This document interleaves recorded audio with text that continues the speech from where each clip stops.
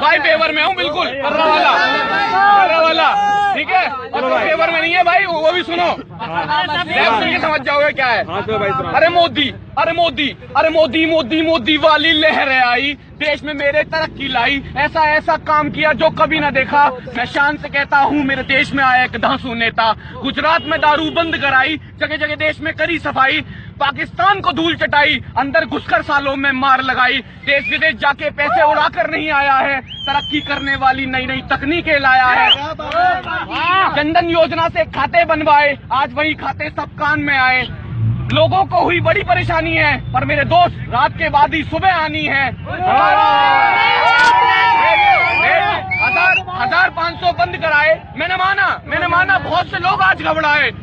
Black money वाला ईमानदार आज चैन से सोया है, ब्लैक मनी वाला पटक पटक के सर रोया है। सोचो सोचो राहुल गांधी जैसा लाइन में आया है। केजरीवाल का तो मुफलर उतर आया है। माया, मायावती को तो ठंडों में पसीना आया है। दाऊद के धंधों में भी तगड़ा मंदा आया है। सच बोलूँ सच बोलूँ तो आज ऊट पहाड़ के नीचे आया है। नीचे आया है। तारीफ़ में तेरे मोदी, कुछ लाइंस लिख डाली। तारीफ़ में तेरे मोदी, कुछ लाइंस लिख डाली, तूने इंडिया ब्राइट फ्यूचर के साथ साथ गजब की हिस्ट्री लिख डाली। हर हर हर मोदी मर जाए विरोधी। हर हर मोदी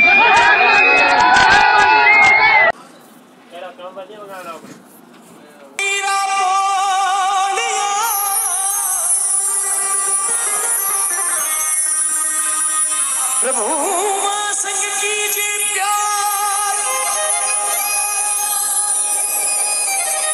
ऊँची गुरु रे। गुरु रे हाथ में। गुरु महाराज खोले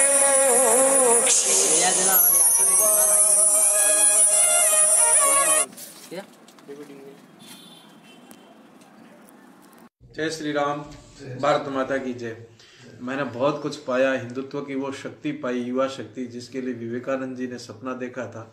और मैंने भी एक सपना देखा था कि मैं जागृत हिंदू मेरे साथ में खड़े जा आज देश के कोने कोने से, आप जैसे जवान जुड़ कर रहे हैं। मैं परिचित नहीं हूँ, आपका चेहरा नहीं देखा मैंने, कभी बात नहीं की, परंतु आपके हृदय में जो बैठा हुआ भाव और मेरे हृदय में बैठा हुआ भाव आपने जो स्वप्न देखा और मैंने भी स्वप्न देखा, वो स्वप्न हम सबका एक ही है।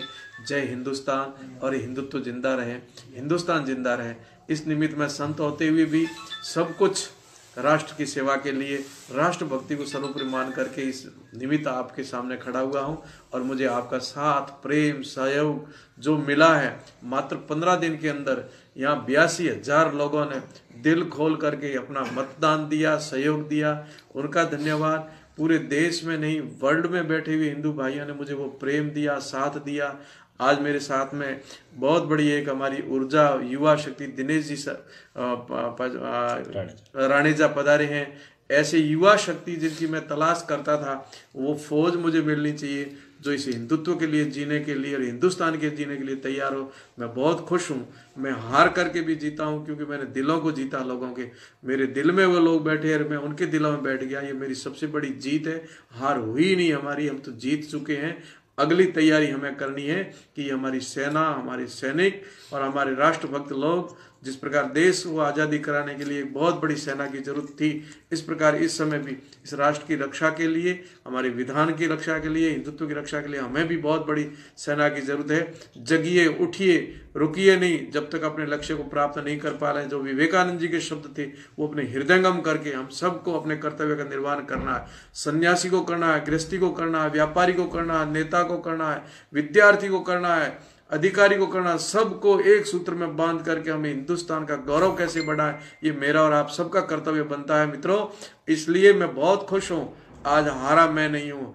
हारी वो लोग हैं जो राष्ट्र के प्रति प्रेम नहीं रखते हैं। हारे वो है जो हमारे सिद्धांत और संस्कृति के प्रति जिनका जुड़ाव नहीं है। हम सब जीते हैं और निश्चय ही जीत, हमारी बहुत बड़ी जीत हो जाएगी।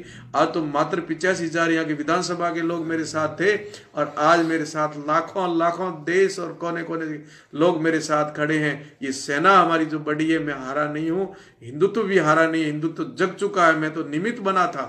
आप और हम सब लोग निमित्त बने हैं और इस निमित्त का हम सौभाग्य मानते हैं कि हमें निमित्त बनाया भगवान ने इस हिंदुत्व को जगाने के लिए। बहुत बहुत मैं शुभकामना करता हूँ दिनेश जी का कि आज मेरे पास आए, मुझे संबल बनाया, मुझे साथ दिया, मुझे वादा किया है कि ये सेना हर समय हिंदुत्व के लिए हिंदुस्तान के लिए आपके साथ खड़ी रहेगी।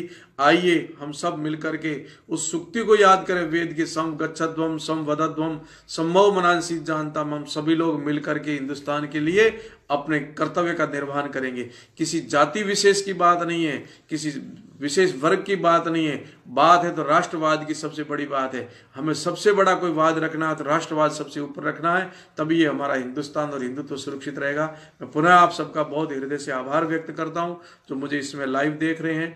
और मैं ऐसे युवाओं की तलाश में हूँ। आइए हम सब मिलकर के एक ऐसा स्वप्न जो हमने देखा, उसको साकार करने के लिए कदम उठाएँ। हम सब लोग मिलें, एक जगह बैठ कर के मंथन करें और फिर अपने काम में लग जाएँ। नहीं रुकना है, नहीं सोना है, नहीं थकना है, जब तक हमारे लक्ष्य को हम प्राप्त नहीं कर लेते।